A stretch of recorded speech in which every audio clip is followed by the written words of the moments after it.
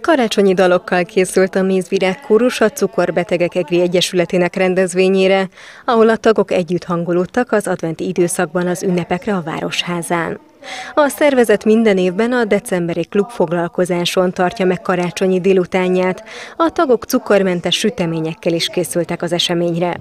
Diabetikus édességeket sütöttek, a cukor nélküli édességeket, és ezzel fogják megkínálni a taktársakat, és recepteket cserélünk, diétás recepteket. Aztán én készültem egy rövid kis előadással, ötletek, hogy a cukorbetegség ne rontsa el az ünnepeket, tehát hogy a karácsonyt is egészségesen és jó hangulatba tölthessük, mert ez a cukorbetegség olyan, hogy még karácsonykor se lehet szabadságra menni, tehát oda kell figyelni.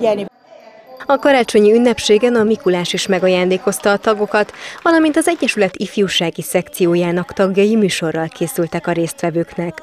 Demeter Kata énekelt, Hubkó Hanna pedig ünnepi dallamokat szólaltatott meg szakszofonon az Egyesület tagjainak. A szervezet célja minden évben az, hogy közösen hangolódjanak az ünnepekre.